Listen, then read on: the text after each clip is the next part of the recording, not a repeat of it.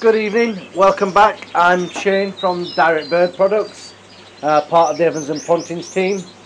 Um, well, this week is going to be about bullfinches. Uh, what I'm going to do is compare the Sibs, Northern, obviously they're the same ones, to the British, obviously native ones, um, and just explain a couple of things about them. And luckily this week we've had um, Mark's done me um, a short video uh, to show and explain some of the, the reasons that he does the way he does. Uh, also a contribution from Dean Walton, um, he's, he's a keen breeder um, from my old neck of the woods, South Yorkshire, um, on some of the um, northern Siberian bullfinches that he's breeding this year. So it's good to, to um, involve everybody. So um, this is what we're here for, to to try and involve people and give something back. For instance, um, I've had so many messages from people uh, saying, you know, that they've been breeding birds for years and some of the little tips that they're picking up um, are, you know, really encouraging for them. So th this is what we're all about, to try and help each other and and if we can, you know, just pass one tip on to the next person, I think we'd, we'd get far. And one main thing is to, to try and bring some uh, some younger people into it and Oliver Crawford's doing a fantastic job with his channel um, through Facebook. Uh, with obviously his, his, site. And one thing I would want to mention I'm involved in um, a couple of uh, Facebook groups. Um, I work closely with them one being the UK um, show scene and sales uh, Facebook group and also the the Irish, um, or, no, the Native Finch uh, Mule and Hybrid Club. Uh, work closely with all them, and the, the admin team on there are brilliant. Uh, check that out. I'll put the link in the description and check it out. And but obviously we don't want to have people that don't breed birds in there posting spam. So you, you do have to answer a couple of questions before we will allow you in. Uh, it's just for common sense. We don't, us bird people don't want to be looking at um, rubbish that people posting there selling obviously stuff that's not related to birds um, you know promoting the business and stuff. That's not what this group's about. But yeah this week really eventful week in the shed. Um, as you guys know keeping birds breeding birds is not um, something you can do a click of a finger. It, it's a full-time job in itself whether it be cleaning out uh, just maintaining the birds. Obviously you, you're going to get uh, the more you put into the birds, the more you're going to get back out of them. That doesn't mean to say that you have to spend a fortune on the, the best products for this and the best products for that.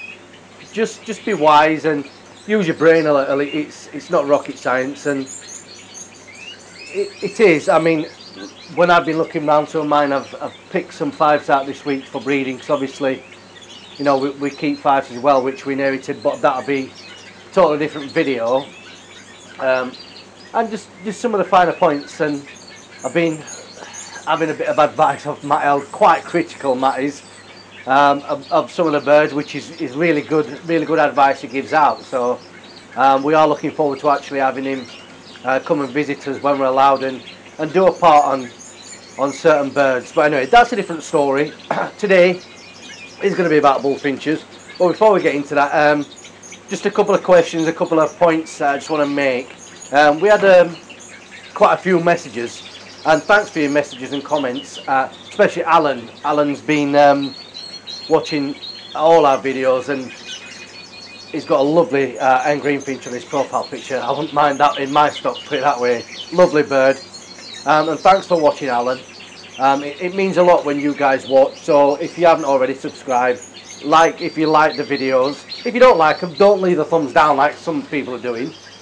Just just message, explain what you don't like about it. And we're here to help people, not to cause controversy. So that's that. Uh, Bonifico, again, hello mate, you, I hope you're good.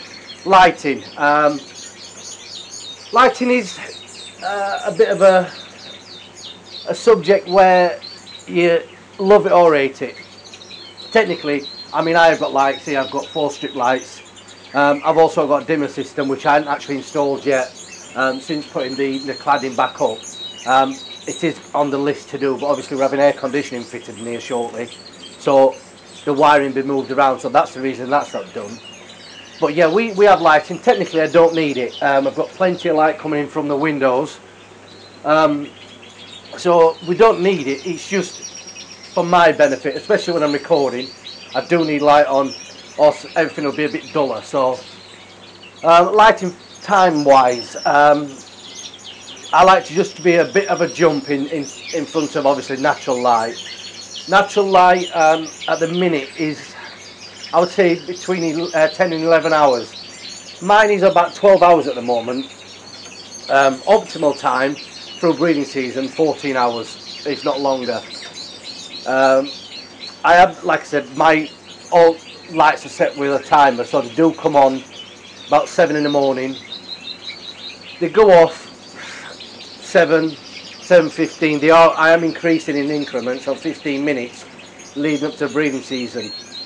Um, same with the dimmer system, that's switched so it comes on 15 minutes before the lights go off and it lasts a 30 minute period where it dims slowly on its own. Um, that is from Sunrise Aviculture if anyone wants to know. Les at Sunrise, um, I've used Les for years, ever since I lived up uh, in South Yorkshire. Um, and his, his, shop, I think, is still in Bramley. If not, look it up on online.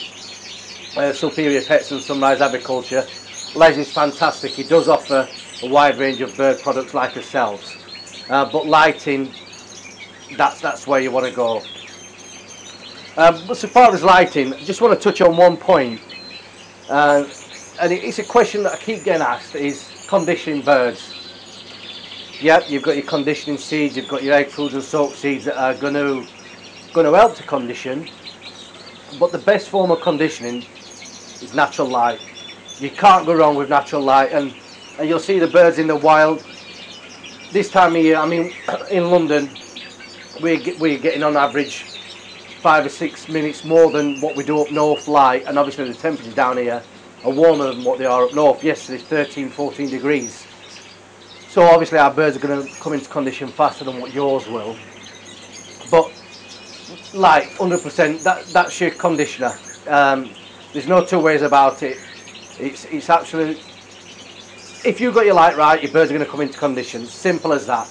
Best form of conditioning that there is, light. As much natural light as possible. That's that. Simple.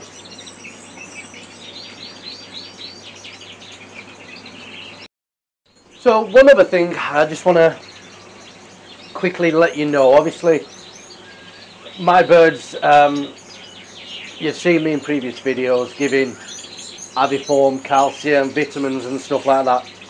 Um, I was asked about worming birds, yes. Um, wormer, this is aviform expel that I've used previously, we sell this, um, plenty available. But now we, we've gone on to S76 uh, we also supply and sell. S76 there's a lot of research going into it and it's one thing I'm trying I've, I tried it late on last year I'm trying it again this year. Um, and it, it's an all-in-one it, it air sac mite wormer all this type of stuff it does. So obviously this has gone out the window this year but I do swear by expel um, I've actually got my previous bottle here almost empty. So that just shows how much I do use it, obviously for coming up for breeding season. And we sell obviously S76.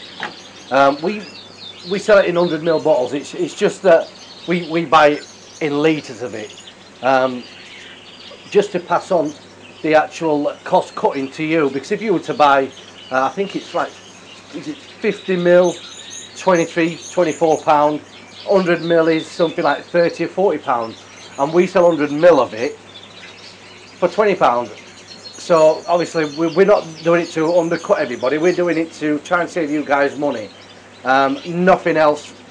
It's not about making thousands of pounds off a product that we don't believe in. I mean the guys that do you do swear by it so obviously it's up to you to try and decide yourself now the next thing I was sent this by Nelson Rato or Rato, he's on Facebook. Um, he has supplied quite a few of the lads uh, in Dublin and obviously Avian World I think it is in Dublin. Um, I've got one of these, Mark's got two and obviously the design on this is, is one I chose. Uh, picture of me and Mark on the front, Direct Bird products, but obviously I'd not seen it before. But when I opened it up, the actual record side of it is fantastic. Um, as you can see that these eight pound, I think there's 25 pages. I think he said that. Seems to be a lot more than 25 pages in there. But I mean, the description of these you've got obviously for your first, second, third round. You cock your ends. There's, there's so much on here that is right. Cage number. Uh, in comparison to my last year's one, this is a generic one, um, an old school one, generic one. Nothing wrong with this, uh, but this one for me is absolutely fantastic and he's done a brilliant job. For £8 delivered to your door, I don't think you can ask for any better than that. And obviously if you need more pages in, let him know, he'll do it. I mean, if you do want his um, details, send me a message and I'll forward it on to you because for £8 for that, get your picture on the front or your, your picture of your bird that you require. You can't go wrong for £8. Now before we go on to obviously showing you um, the bullfinches, like I said previously, I've got a pair of um, Siberian Northern ones and a pair of British native bullfinches. Uh, both pairs are stunning pairs. Um, I actually do think that the male bullfinch is one of the best looking uh, British birds that there actually is in the wild and when you do see them in the, in the wild uh, you'll probably hear them before you do see them. Uh, fantastic, absolutely lovely birds. I remember when I seen one in the, in the wild, I must have been eight, ten years old. Uh, just lovely red, absolutely gorgeous birds. Uh, the problem with, with bullfinches is they don't last that long. They, you're looking at three years maximum. Um, because obviously they're, they're not long-lived birds, so for you to get two good breeding seasons out of them, if you do, you, are doing well. Anything above that is is brilliant. Um, it, that's the same with the Siberian bullfinches and the counterparts in obviously the mules and hybrids. Um, I'll show you, we've got a, a goldfinch bullfinch here. Lovely bird, I think he's two years old now. Wasn't bred by me. Um, stood an example, he's a northern cross. Never colour in this year due to the fact that there's been no shows and I've I didn't want to colour and unnecessarily colouring because it's not good for them. Obviously, the livers and stuff keep pumping certain products into them. Uh, but talking about obviously uh, breeding before we obviously show you the birds and a couple of uh, points on keeping them. Now, breeding, I've previously explained this. It is this is literally just a branch, cocoa nest, uh, bullfinches. For me, coconut nests are a must. And like I said previously, put it into the fork of the tree and just tie wrap that in. It'll be in there. Tie wrap some green conifer around here. Doesn't have to be conifer. Christmas tree works perfectly. I wouldn't go so far as the pine because if the pine needles drop into the nest, when the pine needles drop off, they are actually quite tough. And obviously the, the shells on the edge, you don't want to smash them uh, but conifer for me wrapped around there. And I've mentioned this previously and it's most important. Make sure your birds have got um, an opening um, to actually fly into the nest easy access in not too much cover and perching points for you imagine the young ones in there they've got nowhere to perch to feed the young ones it's, it's pointless. You want a good perching point or even if you put um, a stick going across, running across that way, so when they have got chicks, they can actually feed them because the, the chicks uh, stretch up um, when, they, when they're feeding the young ones. They really stretch right to the top, and obviously the birds sometimes actually have to almost tiptoe uh, to feed the, the young ones. So that's how I do it. Whatever way you want to do it is perfectly fine. But I, I suppose if you ask any breeder of um, either British bullfinches or Siberian bullfinches, I'll almost guarantee you everyone would or would have used uh, a coconut one. And it same goes for the nesting material. This is our nesting material, it's cocoa fibre. literally everything that a bullfinch needs to build a nest. Greenfinch is the same. In fact, any bird will nest with this, but bullfinches will only use this. All finer twigs and roots, for instance. I, I spent plenty of time picking old fine roots out for the bullfinches, only to find that they prefer bloody coconut fibre. Uh, obviously, back in the years where I used to forage a lot of my stuff when I was younger, um, most, like I said previously, anything that wasn't expensive to keep birds I used to do. But obviously, fortunately now, we, we supply this ourselves, so using your own supply, why not? But that, that one there will see me through this season. There's one bag, I've got two pairs, and that's more than enough for two pairs. Now, um, the diet of the bullfinches is we sell a bullfinch mix. It's not it's not anything special, but like I said previously, that you can use a good British finch mix for both bullfinches. One thing I do add a lot of is fruit. Uh, this is an apple which is ready for the bullfinches today. Once I've caught them up, put them in cages for you to see. Um, when I put them back in the flights, uh, where they've been housed at the moment, due to I want them to be as fit as possible. Uh, same with the greenfinches. Everything at one point is in the flights to get fit. Um, the obviously when I'm putting them back in, I want it to be a bit um, more encouraged rather than be scared off. By adding a treat in there, is just they, they'll return back to their oh something nice. That weren't so bad catching them up, if you know what I mean. But obviously this time of year, um, buds are starting to come out of the trees. Bullfinches love fresh buds. Uh, any any fruit tree, you'll get your, your cherry trees and your apples and all them type of stuff. They will devour the buds off them. Don't be pinching from someone else's garden. If obviously if you see a few, just chop a, um, a couple of small branches off, in for your bullfinches. Guaranteed almost instantly they'll be eating them. Like I said, it, it goes across the line. Blackberries, strawberries, they will eat all of them. Uh, obviously, there's in uh, some orchards, apple orchards and fruit places, they, they are allowed to trap bullfinches because they are classed as a pest. But I, I think that's rubbish in my eyes. That it's just us bird keepers. That's their opinion. But obviously, the, their livelihood is more important than a bird. So that's a different story. Um, they don't get any any different treatment to to what many other birds get bullfinches are known for obviously the gapes, air sac that type of breeding problems. But I, I tend to think that they get more of that in cage breeding than, than in flies. Just my opinion.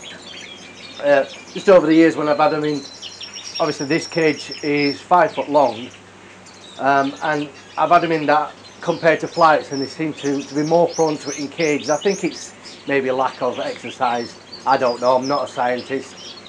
I'm just telling you what my opinion is. And one thing I will point out though, this year, one pair of bullfinches, which is the uh, the British pair, you'll see them shortly, lovely birds. I've shown them previously. But they'll be breeding in the fly, two foot by six foot, six foot high. Uh, they'll be breeding in there, a little bit of cover towards the back, one on the side, maybe. I, I'll see when I'm dressing the flights how I feel and see what the birds feel. The northern ones for instance will be bred in there. Um, this is just housing some greenfinches that we're sorting through at the moment. But um, this will get a deep clean again. I've been doing that bloody things. Transfer one bird to a, a cage, empty a cage, deep clean it out. This is one thing that drives me crazy about this time of year. So they'll be in here and I don't offer much cover for the the northern parts due to the fact that they don't really need it. I find you can actually put in, um, this is one, this nest here with a perch on the front, uh, I had the the grass ones in last year, or same with these ones.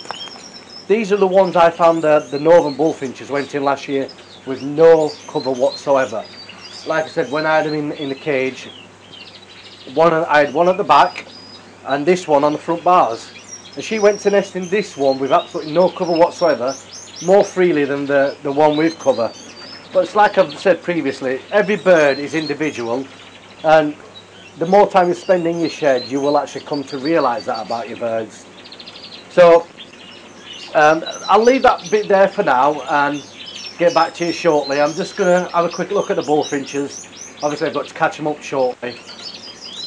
So I don't, obviously I'm trying not to stress them out. I don't like handling birds this time of year. Um, obviously, less stress the better for any bird. Last thing you want to do, you've gone through all the winter and you don't want to lose them now, especially bullfinches, your chaffinches. Spending too long trying to catch them up, uh, the amount of times that I've seen them die just from stress, you, you've literally caught them because they're, they're not easy birds to catch and they, they die in your hand. I've had that in the past and it, it's, it's horrible just, just for the sake of just having a look at a bird. So here we have um, my pair of uh, British bullfinches. The cock on the left, lovely, lovely cock bird. But the, the end bird is absolutely stunning. Uh, the colour on this bird is, is exactly what I'm aiming for and this would be an ideal pairing. These are both current year bred birds. Um, not bred by me, like I said, they are uh, fresh blood this year. Um, so big hopes for these. Like I said, they'll be breeding in one of the flights. I've just literally caught them up just to show you. Obviously, this this pair. Um, I'll be looking to put the nest sites in um, next two weeks, just to let them settle in there, um, get familiarised with obviously the surroundings, so they're not too um, shocked when actually it is breeding time. So obviously I'd look to breed these around April time. Um, I, I, do have, obviously over the last few years when I have bred them, uh, been beginning of April they start to get ready. Um, you will see uh, the cockbirds probably more advanced than the hen birds anyway. Um, they will start piping away as they do, um, dancing around piping. If I were to split these up now, I'm sure within no time the cockbird would start piping for the hen bird. So just a, quick look at them for you. Here you go.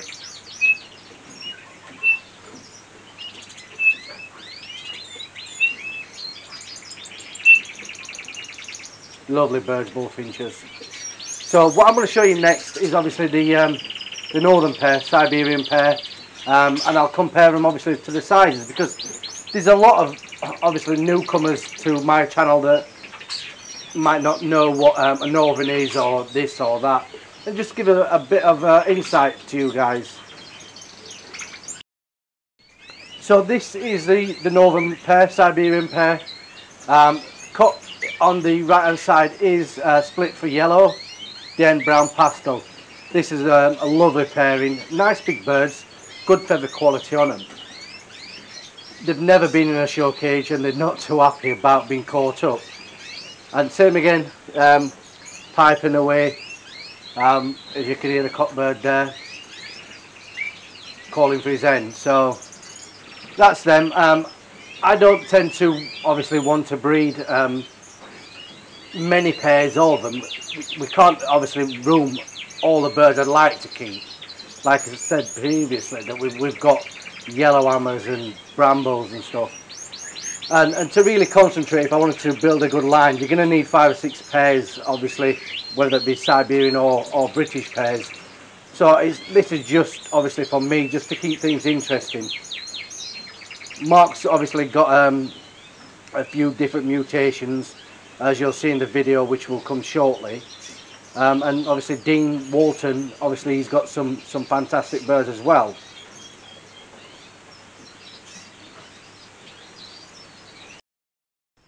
This is just a comparison of obviously uh, two hen birds. Um, the right being the British one, the left being the northern. One thing you will find with obviously northern birds, they're a lot duller in colour than obviously our British and native counterparts. And one thing is obviously they're longer, bigger, but the tails tend to be longer on a, um, a northern or Siberian type, which you can actually tell in, in your northern crosses. But one thing never to do, never cross an English with a Northern. It's just not right and it, it shouldn't be done. You don't want half chats regardless of what you're breeding them for, uh, they're just not nice. Just just keep to save Northern, obviously, with British being on their own. Don't ever cross them. I just think it's wrong. We'll take a look now at obviously the two cockbirds at side of each other just to show you the difference with them. So these are the two cockbirds, the British being on the left, the Northern on the right. Total different kind of birds, like I said, difference in colour, size, everything about them sort of different. I mean if I had to keep um, one type, whether it be British or Northern, it would be hard to choose just purely the fact that the northern types do have so many different uh, mutations. I do love a good pied uh, bully. You hear the starlings talking? Starlings, by the way, literally just started talking last few days. Bloody nightmare, scared the crap out of me first time I heard them.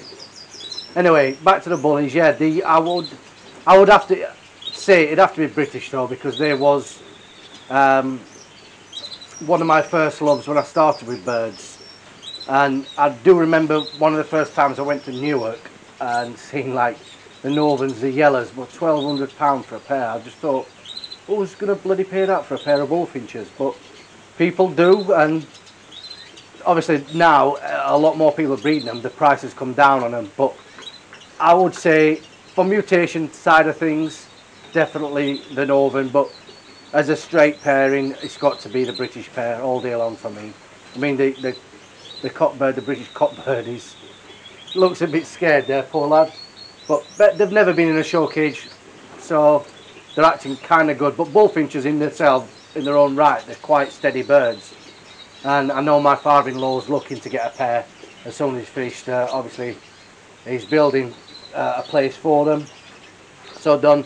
Obviously, this is a video of obviously interest for you.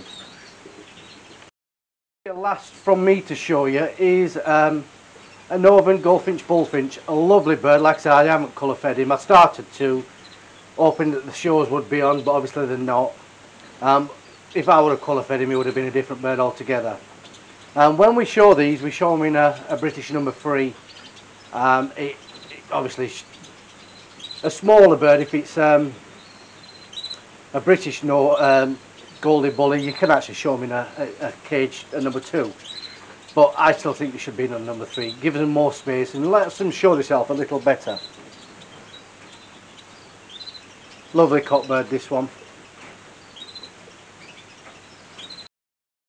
Now this brings me on to uh, mules and hybrids, um, Northern mules and hybrids, British mules and hybrids. Same as I said previously, the they don't last very long. Uh, if you get them to five years, you're doing something really, really well and the birds are comfortable. Which very rarely they'll last over three years. And obviously I've, I've been lucky to own a few, um, whether it be Northern crosses or English crosses.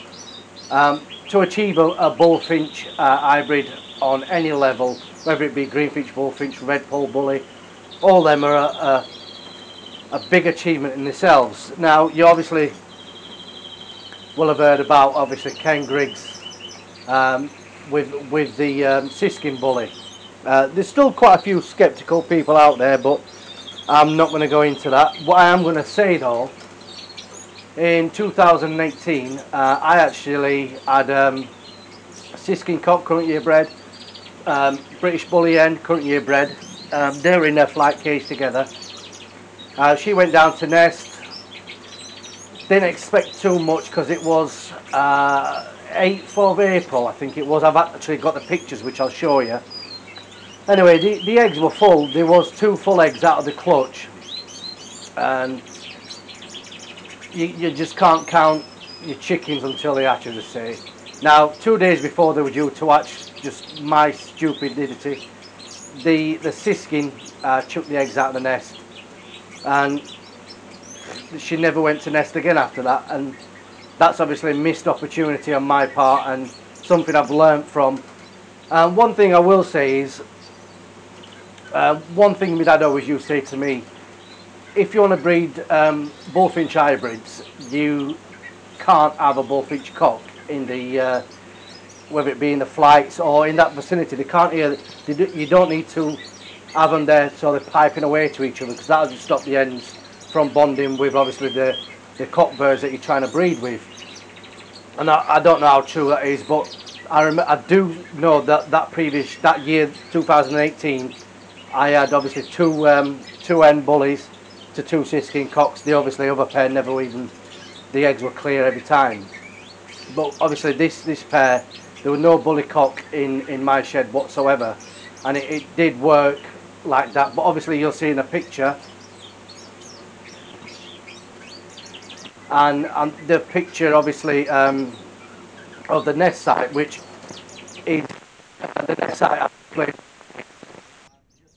of um, uh, branches with a fork when I put the Christmas tree around it, I wrapped it on just to make it more natural. Like I said, that was in a flat cage, uh, no big two foot by two foot. Like I said, they, they went to nest pretty easy. I said one one of the pairings clear eggs, the other pairings were full. But here's a picture, obviously, of the nest site with the the ones uh, with the siskin with the full eggs. Right, so that brings me on to obviously the next bit. Um, this is a short bit from Mark, um, just explaining the way he does stuff. Evening everybody, um, just a quick little video after speaking to Shane the other day. He um, phoned me up and was talking about things and basically was talking about different setups. That I do things slightly different to Shane and we do things slightly different to everybody else. There's no wrong or right in the way we do things. It just all depends on the different setups. My setup's slightly different everyone else's. Shane's are different than the next man and vice versa. Um, so basically, just a little video about that. After our phone call, we just wanted to put things right. We can show you the basics. At the end of the day, it's your decision. They're your birds. You know your birds better than anybody. And um, but uh, anyway, speaking speaking with Shane, we're going to do a little video about bullfinches. Now I'm no expert on bullfinches, so I only means of imagination. But um, I've had them a long time now, and I've seen the breed a lot of them. So I must be doing something a little bit right. So I just wanted to go through, as it's about bullfinches, wanted to go through and just give you an idea show you the way that I would do things compared to Shane or the next man. Um, so the first thing I'd like to do, to talk about, is how I do things. Um, I always keep my birds in pairs. I winter them in pairs. I keep them together. I think they get a bond, and I just like it's the way I do it. I like keeping them in pairs, and they have a close bond, and then and, and that's what I really like to do. You know, are occasions where you might have to separate them up, but I've, I've never found that personally. Not with Siberian bullfinches anyway. And they're a lovely bird. I advise anyone starting their hobby, if they wanted to get a bullfinch, get a Siberian bullfinch. It's such a lovely tame, easy bird to keep, easy to breed, maintenance on very low. It's like a, you know, stunning bird. As you can hear in the background now, always piping and active little bird. Um, but the first thing I breed mine in floats. Uh, uh, three foot by six foot floats, nothing, nothing special. Half covered with solid roof, wires either side, and the feed net at the front. Um, I like to use different. I used to start different. When I first I used to screw an S pan to the back of the wall. I was to put a bit of fern up. But I'll change it now. Since my mate Hayden, God bless him, he's good at that. He built me these cages, which I basically put a wicker nest pan, which will get some shade in there. This is a plain one, not been cleaned or painted yet. I've had these two or three years now. Hayden made me a load of them, and they're just brilliant. I try to put two in. They can be a bit fussy bullfinches when they go to breed. You often want to make their nest where they want to make it. So there's a bit of debate where about too much cover and not enough. I tend to put one at the back and one on the side because they often go back to nest before the chicks are fledged. So that's the reason I do it and they can pick up the two. but I like to cover mine with either artificial Christmas tree, but I tried this last year. It was okay. It worked fine, especially for my green finches. But personally, I like to put up fern, conifer, and just I staple it on or just fix it on cable ties, or screw it on whatever you like. And I just think the smell of it. But I don't try not to put too much. I don't want it too covered. I just put enough just to give them a bit of confidence, so they can carry on feeding their chicks and and things like that. And these nest pans, that, these boxes that Hayden makes, they're just superb. I won't use nothing else now, it's fantastic. The other one that you can do, which a lot of people use as well, which is just a sanded chapel. Again, with a, a coconut fibre nest pan, you can take it out and have just like that. But for me, I don't really, I've not used these yet. So I'll, I'll stick to what I'm used to, that's what these things have settled in. So but I know these are very popular. Um, second field I'd like to come to is, is, nesting material. Now, your normal birds will have your jute and cotton like this, especially green finches and crossbills. I'll get this from Shane as well, by the way. Thanks, Shane. Um, the bullfinches, they, they won't have this at all. They like coconut fibre. So this is what I use coconut fibre. You can get brown, and they like the colour. They like the colour is really good, but I guess I use the brown because then I give them green finches, and crossbills, etc. But they will only make their nest with coconut fibre. Some make a good nest, some make a very little nest, but that's what I use, which is very important. Um, the second field I go on to is a seed.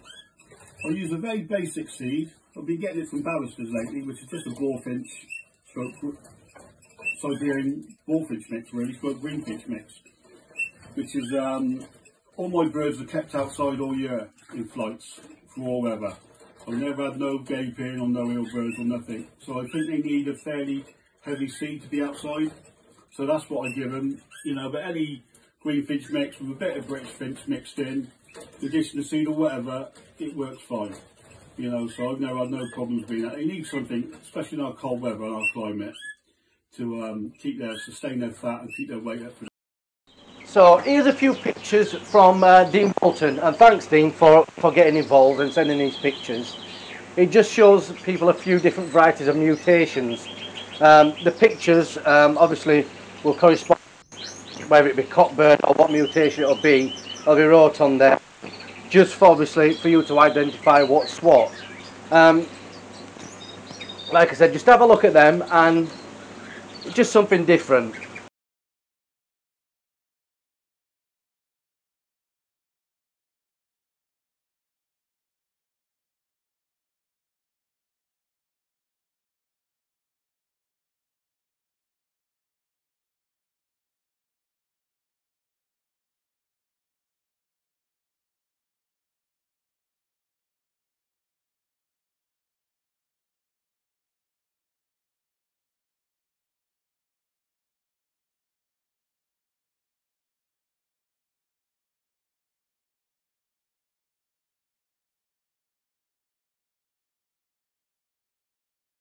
So just before we go, I, what I just want to show you is this week, as I've explained earlier, has been a really busy week in, in my shed and obviously in the flights.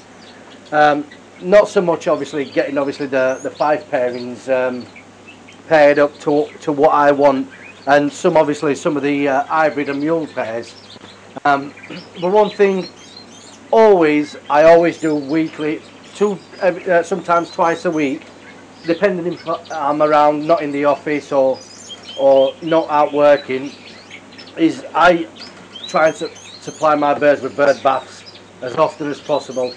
Like I said previously, it can be the coldest days outside, and you, just because it's cold doesn't mean say the birds won't want a bath. If you put a bath on there, they'll be in there whether it be minus one, two, three outside.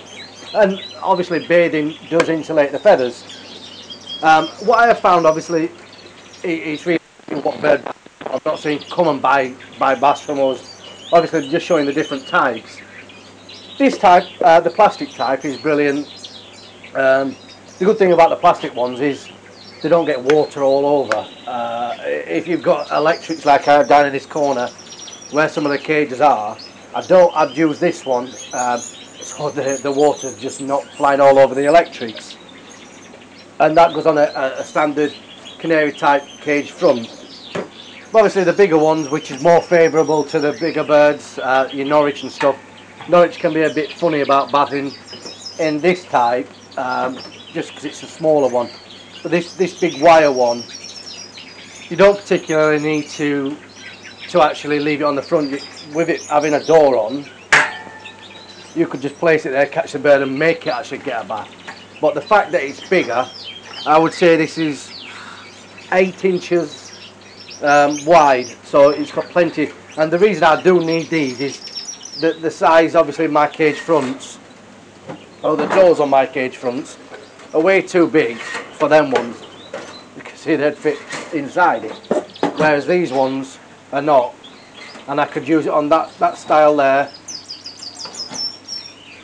perfectly. Um, we've got plenty available, but one thing, like I said, it, it, it's one thing that I try and do as often as possible.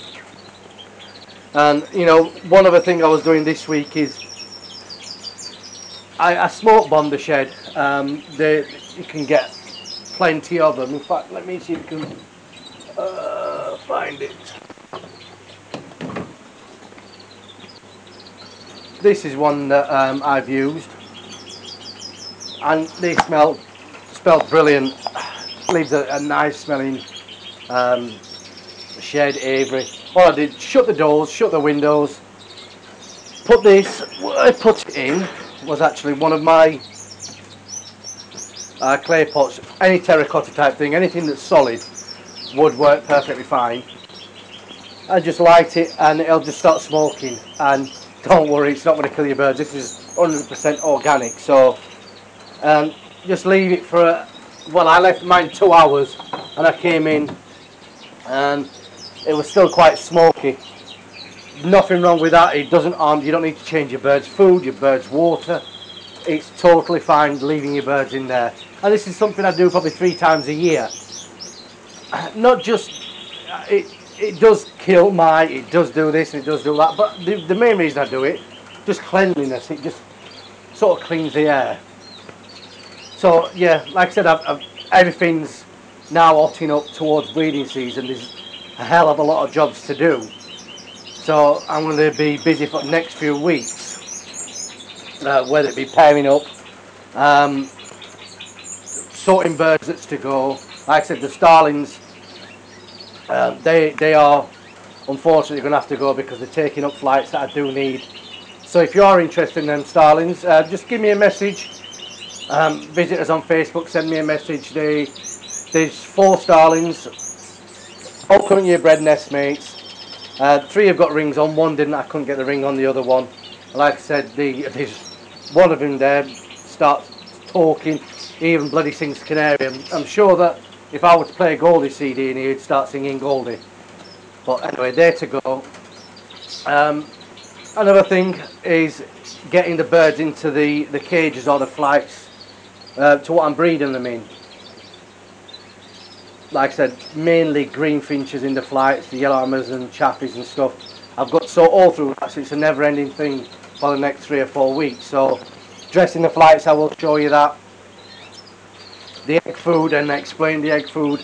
Um, what I do give them. What I'm going to show you is, with the egg food is how I previously done it five or six years ago to how I do it now. And explain why. But that's to come.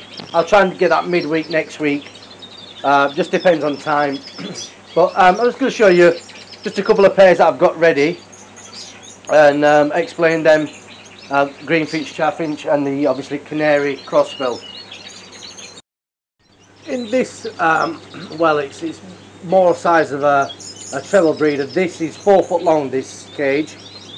Um, we've got a greenfinch cock, chaffinch hen and as you can probably see in the corner what I've already done is basically get the nest site in ready.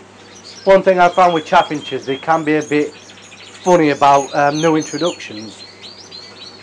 So like I said previously, what I wanted to do was to get them comfortable with the surroundings. So this is in, and I won't touch that. And I won't be offering any nesting material until I believe that these are ready. It's just a more of get them in that breeding condition just to spur them on that slight little bit but there'll be more on that in the coming videos. So up here we have the crossbill canary pairing uh, I'm showing you the um, the hen bird no the canary cockbird sorry uh, previously uh, when I was trimming them up the reason that they're in uh, a wire cage purely the crossbill chews bloody everything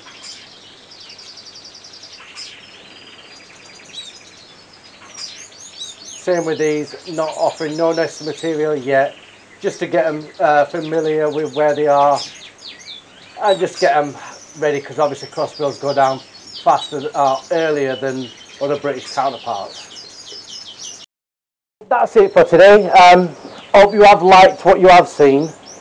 Um, like I said, comment uh, below, send us a message if you are interested in any of our products and just leave a, a like and subscribe. Um, this just lets me know that obviously you are liking what we are doing and you are finding the information that we're giving um, useful to you.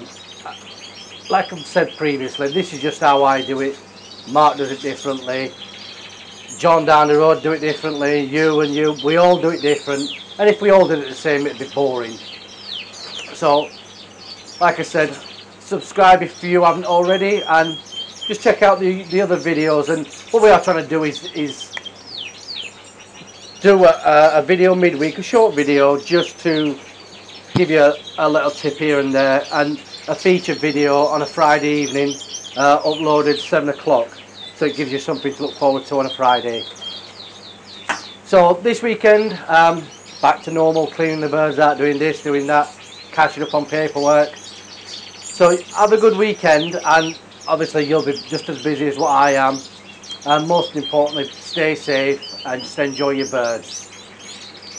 Um, thanks very much for watching and have a good one.